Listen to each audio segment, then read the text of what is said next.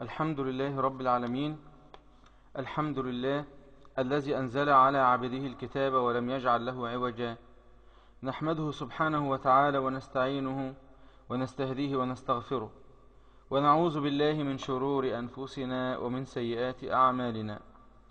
الحمد لله على نعمة الإسلام وكفى بها نعمة. وإن تعدوا نعمة الله لا تحصوها.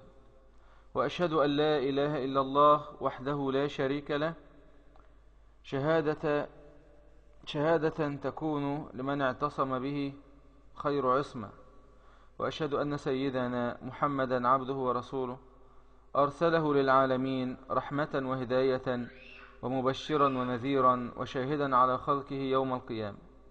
يوم يفر المرء من أخيه وأمه وأبيه وصاحبته وبنيه لكل امرئ منهم يومئذ شأن يغنيه. أما بعد نستكمل ما بدأنا وهذه الحلقة الثانية من شرح هذا المتن المبارك متن حرز الأماني ووجه التهاني في القراءات السبع المسمى أو المشهور بمتن الشاطبي. وكنت قد بدأت في الحلقة الماضية بمقدمة يسيرة عن علم القراءات وسبب اختلاف علماء القراءات في القراءات السبع وما هي؟ وذكرت طرفا من أداب طالب العلم وما ينبغي أن يكون عليه طالب العلم. أسأل الله تبارك وتعالى أن يجعلنا من المتأدبين بذلك. وعلى عجالة على عجالة علم القراءات هو من أشرف العلوم. وهناك مبادئ لعلم القراءات لكل فن مبادئ عشرة فمبادئ علم القراءات هي أولا تعريف القراءات جمع قراءة وهو علم يعرف به كيفية أداء الكلمات القرآنية والنطق الصحيح لها ولا يكون إلا بالمشافهة من أفواه المشايخ وأهل العلم. يعني ما ينفعش واحد يتعلم لوحده. لازم إن هو يجلس بين يدي الشيخ أو يقرأ عليه على يعني أي برنامج من برامج التواصل الحديثة على عبر الإنترنت ويتعلم. يستمع الشيخ إليه ويستمع من الشيخ لما يخطئ. وأما عن حكمه فتعلم علم القراءات فرض كفاية والعمل به فرض عين. وفرض كفاية يعني إذا فعله البعض سقط عن الآخرين فإذا يعني قام مجموعة من الناس وتعلموا هذا العلم هو علم القراءات هنا يسقط الإثم عن الباقين عن باقي الناس. وإذا يعني ترك الناس بالكلية هذا العلم فيأسم الناس على ذلك والله أعلم. وأما العمل به فهو فرض عين. موضوع الكلمات القرآنية. واضع يعني من الذي وضع هذا العلم؟ علم القراءات أئمة القرآن الكريم وعلى رأسهم أبو عمر حفص بن عمر بن عبد العزيز الدوري المتوفي سنة 246 هجرية وهو راوي أبي عمرو والكساء خامسا فضله هو من أفضل العلوم المتعلقة بالقرآن الكريم. سادسا استمداده من النقول الصحيحة المتواترة الموصولة السند إلى رسول الله صلى الله عليه وسلم. سابعا مسائله القواعد الكلية التي توصل إلى معرفة الأحكام الجزئية زي الإمالة و فهذه قاعدة كلية والجزء منها من فرض به بعض القراء أو الرواة. الجزء منها من فرض, من فرض به بعض القراء أو الرواة. ثامنا ثمرته وفائدته العصمة من الخطأ في النطق الصحيح للكلمات القرآنية وصيانتها من التحريف والتغيير. والتمييز بين ما يقرأ به وما لا يقرأ به وبين الشاذ والمتواتر. تاسعا أول من دون هذا العلم هو أبو عبيدة القاسم ابن سلام المتوفي سنة 224 هجري. عاشرا اسمه علم القراءات علم القراءات والقرآن الكريم أيها الأحبة نزل من قبل الله تبارك وتعالى بقراءات المتواترة التي يقرأ بها اليوم في جميع الأمصار. فلا تقل بأن القرآن الكريم نزل أولا. فكيف نزل القرآن بقراءة حفص أم إن القرآن نزل بقراءاته المتواترة المجمع عليها من اللوح المحفوظ إلى السماء الدنيا إلى نبيه الحبيب محمد صلى الله عليه وسلم على لسان جبريل عليه السلام. الكلام ده مهم جدا يا جماعة. القرآن الكريم نزل من قبل الله عز وجل بقراءات المتواترة نزل بالقراءات كلها التي يقرأ بها اليوم في جميع الأمصار. فإياك أن تقل بأن القرآن الكريم نزل أولا. فكيف نزل القرآن بقراءة حفص أم ورش؟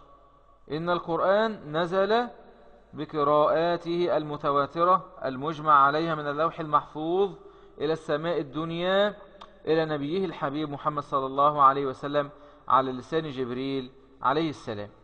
طيب سؤال ما عدد القراءات المتواترة؟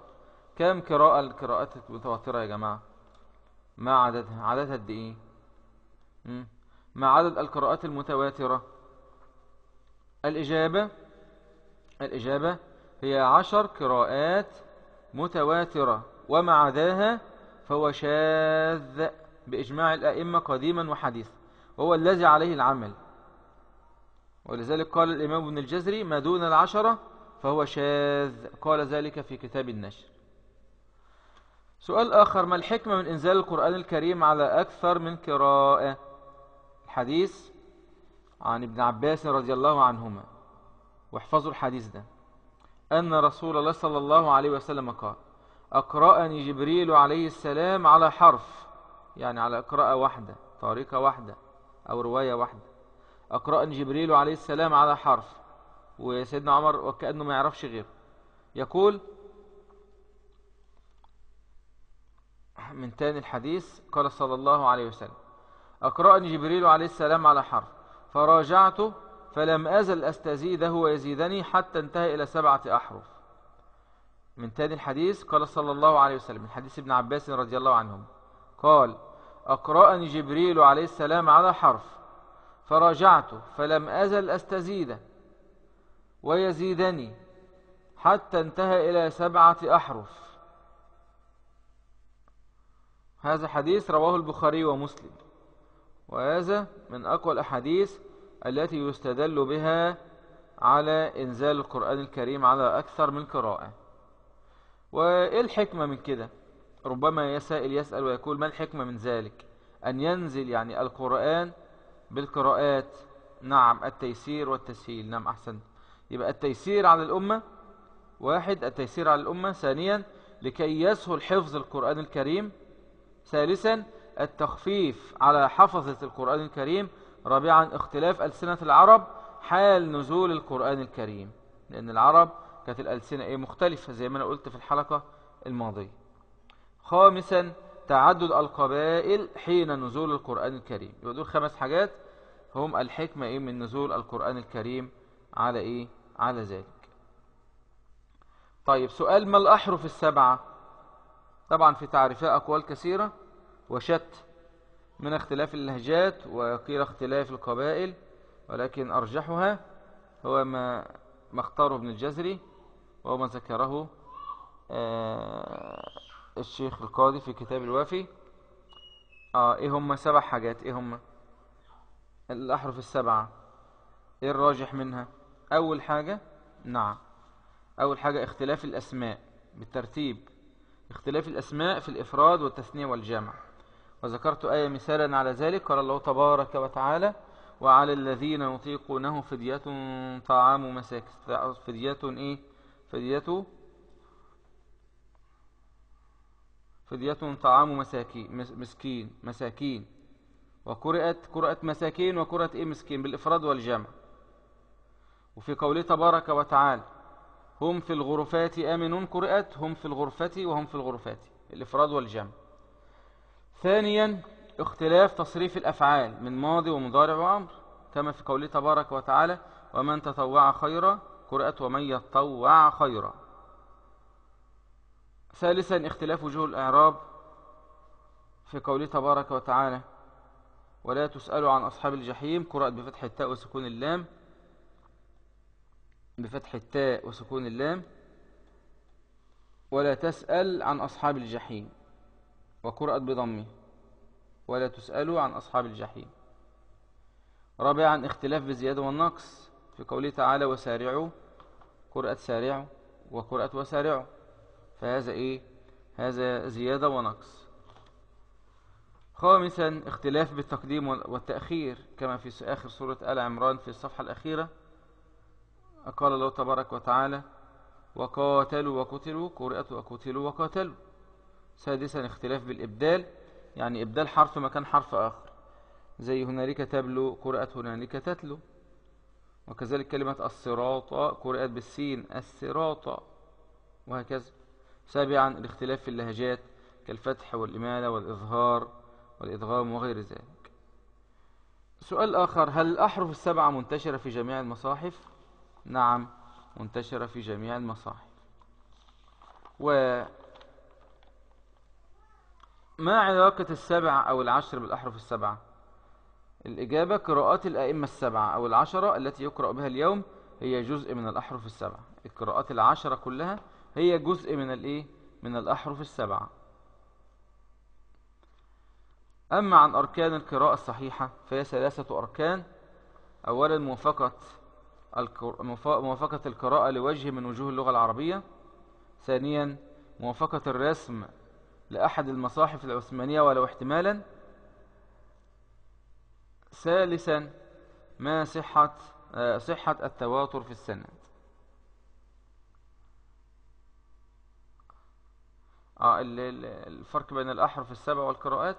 أنا ذكرت الأحرف السبعة هي ما اختاره يعني الإمام ابن الجزري في في تعريف الأحرف السبعة. الأحرف السبع اللي هم سبع حاجات اللي أنا ذكرتهم الآن. اختلاف الأسماء ثانيا اختلاف تصريف الأفعال ثالثا اختلاف وجوب الإعراب آه، رابعا اختلاف بالزيادة والنقص خامسا اختلاف بالتقديم والتأخير سادسا اختلاف بالإبدال آه، سابعا اختلاف اللهجات. أما القراءات فهي القراءات العشر هي جزء من الإيه؟ من الأحرف السبعة. طيب أركان القراءة الصحيحة ثلاثة. أولا موافقة القراءة لوجه من وجوه اللغة العربية. ثانيا موافقة الرسم لأحد المصاحف العثمانية ولو احتمالا. ثالثا صحة التواتر في السنة كما قال ابن الجزري في طيبة النشر فكل ما وافق وجه نحوي وكان للرسم احتمالا يحوي. وصح إسنادا هو القرآن فهذه الثلاثة الأركان. أما عن الفرق بين القارئ والراوي القارئ هو إمام من الأئمة السبعة أو العشرة وشيخ الراوي. والراوي هو الذي تلقى العلم عن قارئه. وده يجي لنا إن شاء الله مع الإيه؟ في أثناء شرح المقدم. يبقى القارئ والإمام من الأئمة السبعة. أو العشرة هو شيخ الراوي والراوي هو من تلقى أو الذي تلقى العلم عن قارئه. سؤال آخر ما الحكم لو نسبت القراءة لقارئ أو راوي؟ الإجابة إذا نسبت القراءة لقارئ فلا خلاف بين راويين أما إذا نسبت لراو تكون مخالفة للراوي الآخر عن نفس شيخهما. وهي صحيحة عن الشيخ ولكن كل منهما ولكن كل منهما أخذ عن شيخه. مثال ذلك البسملة لقارون عن نافع والوصل والسكت والبسملة لورش عن نافع وهذا صحيح وهذا صحيح والاثنين أخذوا إيه؟ أخذ أو الاثنين أخذا عن شيخهما. سؤال آخر لماذا تم اختيار هؤلاء الأئمة دون غيرهم من الأمصار؟ أنا ذكرت السؤال ده في الحلقة الماضية. الإجابة آه، لأنهم هم الأفضل في الحفظ والضبط والثقة والأمانة العلمية في نقل هذه القراءات إلينا من غيرهم آه، عن غيرهم مع علم الآخر في زمانهم بالقراءات. يعني هل هو كان في في زمانهم ما فيش حد عالم بالقراءات خالص؟ محدش عارف إلا هم؟ لا كان في ناس تانية. لكن في ناس تانية ولكن آه، يعني هؤلاء هم الذين وقع عليهم الإيه؟ الاختيار لأنهم كانوا هم الأفضل في الحفظ والضبط والثقة والأمانة العلمية في نقل هذه القراءات إلينا عن غيرهم. سؤال أيضا قبل أن ندخل في شرح المقدمة سؤال أخير. لماذا اهتم الشاطبي وغيره بوضع المتون والرموز؟ ليه الشاطبي يعني اهتم بوضع المتون والرموز؟ الإجابة لكي يسهل على طلاب العلم معرفة هذا الفن. جعلنا الله تبارك وتعالى وإياكم من حفظة هذا العلم الجليل. وسيعني ندخل الآن في شرح هذه المقدمة المباركة لمتن الشاطبي. الإدارة يعني لو تتفضل مشكورة برفع يعني الأبيات على الإيه؟ على اللوح. قال الناظم رحمه الله بسم الله الرحمن الرحيم. بدأت ببسم الله في النظم أولا تبارك رحمانا رحيما وموئلا. وثنيت صلى الله ربي على الرضا محمد المهدى إلى الناس مرسلا وعثرته ثم الصحابة ثم من تلاهم على الإحسان بالخير وبلا وثلست أن الحمد لله دائما وما ليس مبدوءا به أجذم العلا وبعد فحبل الله فينا كتابه فجاهد به حبل العدا متحبلا. وأخلق به إذ ليس يخلق جدة جديدا مواليه على الجد مقبلا. وقارئه المرضي قر مثاله كلترج حاليه مريحا وموكلا. هو المرتضى أمن إذا كان أمة ويممه ظل الرزانة قنقلا. هو الحر إن كان الحري حواريا له بتحريه إلى أن تنبلا. وإن كتاب الله أوثق شافع وأغنى غناء واهبا متفضلا وخير جليس لا يمل حديثه وترداده يزداد فيه تجملا وحيث الفتى يرتاع في ظلماته من القبر يلقاه سنا متهللا هنالك يهنيه مقيلا وروضة ومن أجله في ذروة العز يجتلى يناشد في إرضائه لحبيبه وأجدر به سؤلا إليه موصلا فيا أيها القاري به متمسكا مجلا له في كل حال مبجلا. هنيئا مريئا والداك عليهما هنيئا مريئا والداك عليهما. ملابس أنوار من التاج والحلا فما ظنكم بالنجل عند جزائه؟ أولئك أهل الله والصفوة الملا. أولو البر والإحسان والصبر والثقى حلاهم بها جاء القرآن مفصلا. أو مفصلة تقرأ مفصلة أو مفصلة.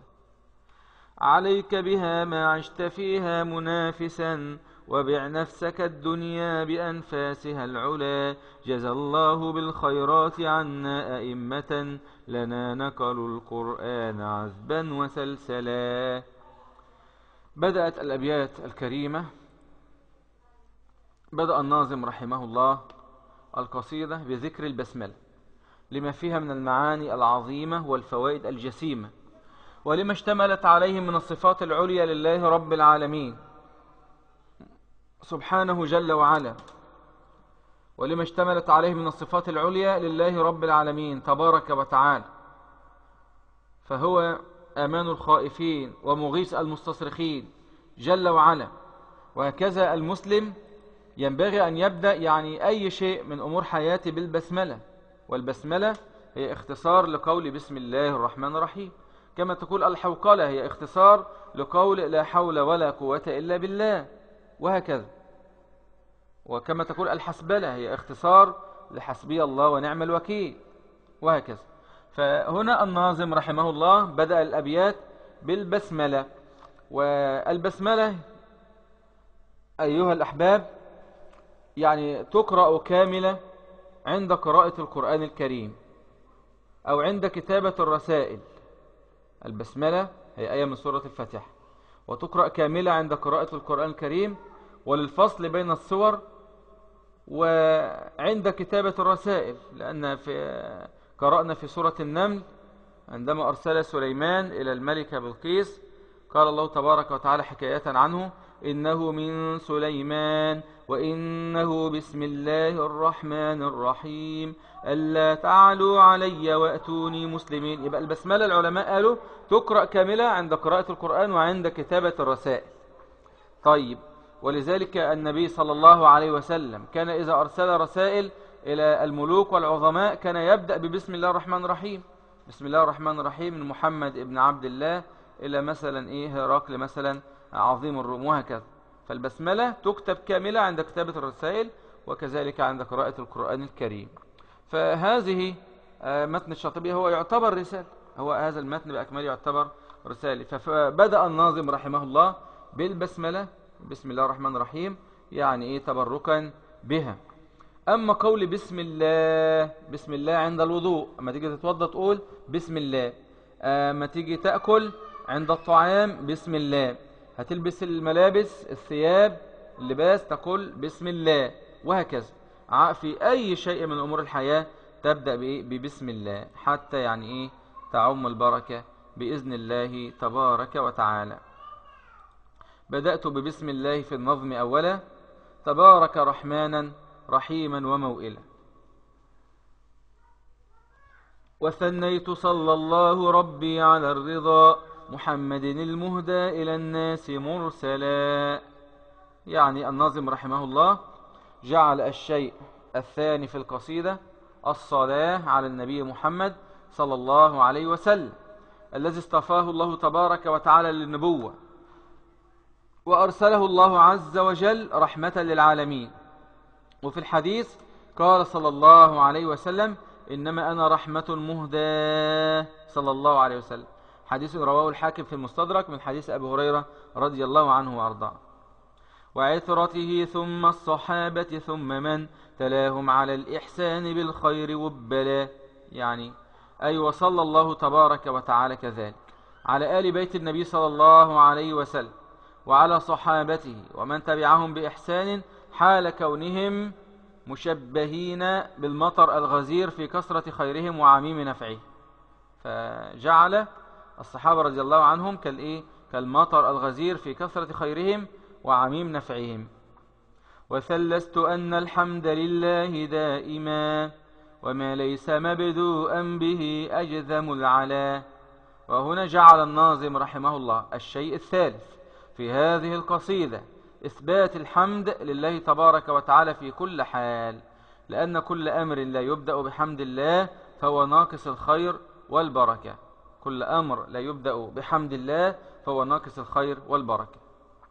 وبعد فحبل الله فينا كتابه فجاهد به حبل العدا متحبلا. بعد البدء بالبسملة والصلاة والسلام على سيدنا محمد صلى الله عليه وسلم وعلى آله وصحبه والتابعين لهم بإحسان إلى يوم الدين. واجعلنا من التابعين يا رب. بعد هذا قال فاعلم أن حبل الله فينا كتابه القديم وكلامه الحكيم. فجاهد أيها القارئ بهذا القرآن وبما تضمنه من أدلة وبراهين. وبما تضمنه من أدلة وبراهين. مكائد خصوم الإسلام وأعدائه. حالة كونك جاعلا القرآن شبكة تتصيدهم بها إلى حظيرة الإيمان والإسلام. وأخلق به إذ ليس يخلق جدة جديدا مواليه على الجد مقبلا. يعني ما أجدر القرآن بالمجاهدة بأدلته وبراهينه لأنه حق لا يبلى. سمى المكانة فهو سمي المكانة رفيع المنزلة. وكل من ولاه وصافاه فهو مستقيم على الجد. سالك طريق الحق حال كونه مهتما به عاملا بما اشتمل عليه يقيم حروفه وحدوده. وقارئه المرضي يقر مثاله كلترجح عليه مريحا وموكلا. يعني أي استقر مثال قارئ القرآن العامل به فجعله أو شبهه بالأترج والأترج هو فاكهة طيبة الرائحة حلوة الطعم. وفي هذا إشارة لقول النبي صلى الله عليه وسلم في الحديث الذي أخرجه البخاري ومسلم. قال صلى الله عليه وسلم مثل المؤمن الذي يقرأ القرآن مثل الأترجة ريحها طيب وطعمها طيب. الحديث هو المرتضى أمن إذا كان أمة ويممه ظل الرزانة قنقلا.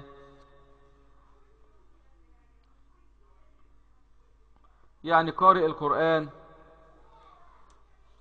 مرتضى قصده مخلص مخلصة نيته لأنه صار بحمله القرآن واهتمام به جامعا لخصال الخير فكأنه أمة في الخير والقنقل اسم للمكيال الضخم أو الكثيب العظيم كما قال العلماء. وقصده ظل العقل والرزانة والوقار وهذه مبالغة في الإشادة بقارئ القرآن حيث جعل الناظم رحمه الله الرزانة والوقار يتجملان بحامل القرآن. هو الحر إن كان الحري حواريا له بتحريه إلى أن تنبل. يعني وقارئ القرآن قارئ القرآن يعني لا يكن صاحب هوى. وكذلك لا تغويه ولا تستعبده الدنيا ولم تأثر الشهوات وذلك إذا كان جديرا بالبحث في علوم القرآن واجتهاد في حفظه واستظهاره والتخلق بأخلاقه إلى أن ينبغ في هذا العلم أو يموت. قال وإن كتاب الله أوثق شافع وأغنى غناء واهبا متفضلا. يعني القرآن الكريم هو كتاب الله تبارك وتعالى. هو الشافع الذي لا ترد شفاعته. وفي الحديث قال صلى الله عليه وسلم اقرأوا القرآن فإنه يأتي يوم القيامة شفيعا لأصحابه. وكفاية القرآن أتم من كفاية غيره وإغنائه أكثر من إغناء غيره. فالقرآن غني لا فقر معه حال كون القرآن واهبا لصاحبه الثواب متفضلا عليه بالكرامة. وخير جليس لا يمل حديثه وترداده يزداد فيه تجملا. أي أن القرآن الكريم هو أفضل أنيس وخير جليس لا يمل أو لا يمل من حديثه ولا يسأم أو ولا يسأم القارئ من حديثه ولا تمل تلاوته ولا سماع وكلما كرره وردده المسلم يزداد جمالا ويزداد قارئه تجملا لما يقتبس من أخلاقه العالية وأدابه السامية وأنواره, المتج... وأنواره المتجددة وحيث الفتى يرتاع في ظلماته من القبر يلقاه سنا متهللا. يعني وإذا كان قارئ القرآن عند موته يخاف من أعماله السيئة التي اقترفها مدة حياته في الدنيا فإن القرآن يلقاه عند دخوله القبر باش الوجه فيأنس به ويتبدل خوفه أمنا وطمأنينة. فاللهم اجعل القرآن أنسنا وشفيعنا يا رب العالمين. هنالك يهنيه مقيلا وروضة ومن أجله في ذروة العز يجتلى. وفي ذلك المكان أي في القبر يهنأ القرآن أو يهنئ القرآن صاحبه الذي كان يقوم بحقه في الدنيا. ويبشره بأن قبره سيكون روضة من رياض الجنة ينعم بها. ومن أجل القرآن وتلاوته والمحافظة عليه يرى صاحب القرآن في أعلى مراتب العز يوم القيامة. يناشد في إرضائه لحبيبه وأجدر به سؤلا إليه موصلا. يعني يطلب القرآن من الله تبارك وتعالى عز وجل ويلح في طلبه أن يرضي الله صاحبه وحبيبه الذي كان ملازما لتلاوته ومتخلقا بأخلاقه ومحافظا على آدابه. يطلب القرآن من الله تبارك وتعالى أن يعطي صاحبه هذا من الثواب العظيم والنعام المك والنعيم المقيم. يعني ما تقر به عينه وما أجدر سؤال القرآن أن يجاب ويصل كل ما يريده إلى صاحبه. فيا أيها القاري به متمسكا مجلا له في كل حال مبجلا أو مبجلا. هنا ينادي ينادي الناظم قارئ القرآن المتصف بالصفات المذكورة فيقول يا قارئ القرآن حال كونك معتصما به عاملا بما فيه معظما له في كل الأحوال هنيئا مريئا لك هذا الإنعام وهذا الإكرام. الذي ستحصل عليه يوم القيامة إن شاء الله. وكذلك والداك يكسيان ملابس أنوار ويتوجان بتاج العز والوقار الذي ضوءه أبهى من ضوء الشمس في بيوت الدنيا كما ورد في الحديث كما ورد في الحديث الذي رواه أبو داود وغيره. فما ظنكم بالنجل أي الإبن الذي حمل القرآن وعمل به أنه يكفيه فخرا وشرفا أنه من أهل الله وخاصته. ورد في الحديث الصحيح قال صلى الله عليه وسلم أهل القرآن هم أهل الله وخاصته. يا رب اجعلنا منهم يا رب. اللهم اجعلنا حقا من أهل القرآن الذين هم أهلك وخاصتك يا أرحم الراحمين. أولو البر والإحسان والصبر والتقى حلاهم بها جاء القرآن مفصلا. أهل القرآن هم أصحاب البر وهو فعل الخيرات وترك المنكرات. وهم الذين يحسنون أعمالهم ويخشون ربهم تبارك وتعالى ويصبرون على كل ما يحتاج إلى صبر. وجاء وجاءت صفاتهم في القرآن مفصلة. عليك بها ما عشت فيها منافسا وبع نفسك الدنيا بأنفاسها العلا. يعني إلزم هذه الصفات يا أيها القارئ. إلزم هذه الصفات الحميدة. ما دمت حيا ونافس غيرك فيها. وأبدل نفسك الدنيا التي تدعوك إلى الخمول والكسل وحب العاجل. أبدلها بنفس يعني بنفس تكون صاحب همة عالية ويكون لك غاية سامية وهي محبة محبة العمل الصالح. وتكن مقبل على ربك عز وجل. مستعد للقاء الله عز وجل. جزى الله بالخيرات عنا أئمة لنا نقل القرآن عزبا وسلسلا وهنا يسأل الناظم ربه تبارك وتعالى أن يجزي عنا خيرا كل من نقل إلينا القرآن من الصحابة والتابعين وغيرهم لأنهم نقلوه بكل دقة وأمانة فلم يزيدوا فيه حرفا ولم يعني ينقصوا منه كلمة. وكان نقلهم للقرآن صافيا عزبا خالصا من كل شائبة. وإلى هذا الحد الكفاية ونسأل الله تبارك وتعالى الهداية.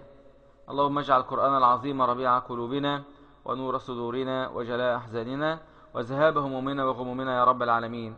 هذا والله تبارك وتعالى أسأل أن يجعل ما قلته وما سمعتموه مني زادا إلى حسن المصير إليه وعتادا إلى يوم القدوم عليه. إنه بكل جميل كفيل وهو حسبنا ونعم الوكيل.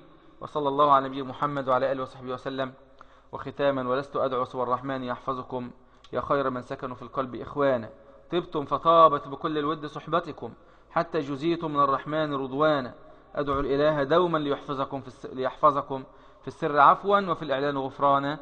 والسلام عليكم ورحمة الله وبركاته. يعني بالنسبة قبل أن أنصرف طبعا اتفقنا أن الحلقة هي المدة نصف, نصف ساعة إن شاء الله ولا نزيد. وأنا دائما يعني أحب يعني إيه لا أطيل على على إخواني خاصة في علوم الأصول هذه تحتاج يعني إيه لا تحتاج الكسرة. حتى يعني يكون هناك تركيز إن شاء الله ولا ينسي الكلام يعني بعضه بعض. بالنسبة لتسميع المتن اللي حافظ المتن يتصل بي عبر اسكايب إن شاء الله آه، بالإنجليش هشام جمال 72 وأهلا به ومرحبا ويسمع لي إن شاء الله ما حفظ ويداوم على ذلك إلى أن ننتهي من هذا المتن المبارك بإذن الله تبارك وتعالى. التسميع يعني للرجال بإذن الله عز وجل وجزاكم الله خيرا. وأنا أرى من بينكم الأستاذ رضوان ربنا يبارك فيه وهو من أكثر المتابعين والذين يعني يحضرون لي في كل الغرف وفي كل مكان. جزاك الله خيرا يا شيخ رضوان ووفقك الله تبارك وتعالى للمداومة على الأعمال الصالحة. وجزا الله خيرا إدارة هذه القاعة المباركة قاعة أحفاد الصحابة و... والجميع وكل من حضر معنا. والسلام عليكم ورحمة الله وبركاته.